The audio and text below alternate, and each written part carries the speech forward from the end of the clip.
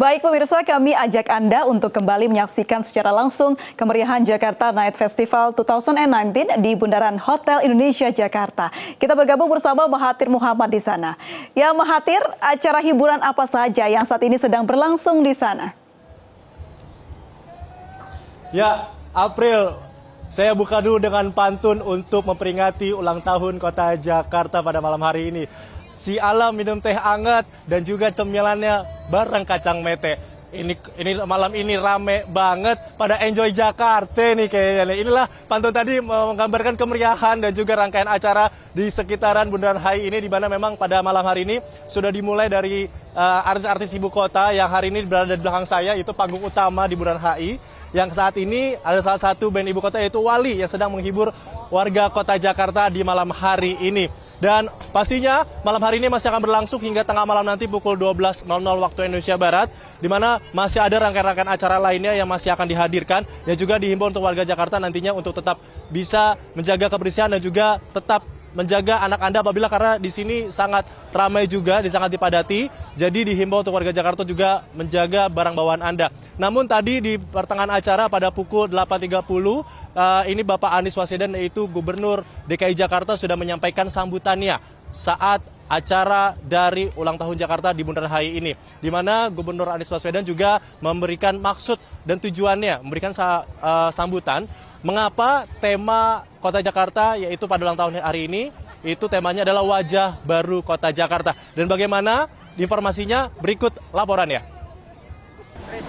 Wajah baru Jakarta bukan saja soal fisik. Wajah baru Jakarta adalah soal mindset, cara berpikir, cara pandang. Izinkan dalam kesempatan ini saya menggarisbawahi bahwa yang kita bayangkan sebagai wajah baru Jakarta adalah menghadirkan keadilan, kedaulatan di dalam setiap kebijakan, mengusahakan persatuan, bukan sekedar merayakan keragaman yang memang sudah menjadi keniscayaan. Yang kita lakukan adalah memastikan Jakarta lestari, Jakarta terus memberi kebahagiaan bagi generasi kini dan generasi-generasi yang akan datang. Karena itulah kita selalu mendorong keadilan di dalam semua kebijakan mulai dari kebijakan pajak bagi mereka yang berjasa untuk bangsa dan negara sampai dengan kepastian bagi orang tua ketika menyangkut PBDB yang hari-hari ini menjadi perhatian di seluruh Indonesia memastikan dukungan kepada masyarakat yang marginal agar mereka bisa hidup dengan baik, mendapatkan kesempatan yang layak bagi semuanya.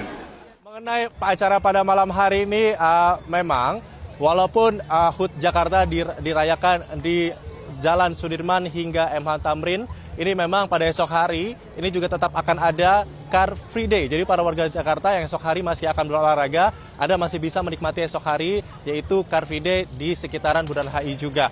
Dan meski begitu, saya akan berbicara sedikit mengenai pengamanan yang disiagakan di sekitaran Bundaran HI, di mana kurang lebih 1050 Satpol PP bersama juga dengan kepolisian kurang lebih 600 personil telah mengamankan sekitaran Bundaran HI, di mana warga Jakarta pun dapat terlihat di belakang kami dan sekitaran kami ini sangat menikmati dan juga sangat enjoy sekali dengan rangkaian-rangkaian acara yang dihadirkan di ulang tahun Kota Jakarta pada malam hari ini. Meski begitu, himbauan terus disampaikan oleh pihak kepolisian untuk warga Kota Jakarta yang malam hari ini masih uh, akan pulang nantinya untuk berhati-hati dan mengikuti arahan dari petugas dan juga pastinya untuk bisa juga berhati-hati dan juga mengikuti rambu-rambu lintas karena ketika Anda pulang pada malam hari ini Anda harus tetap fokus karena kan acara ini masih akan berlangsung hingga 12 malam nanti. April. Ya, terima kasih Mahathir Muhammad melaporkan langsung dari Bundaran Hotel Indonesia.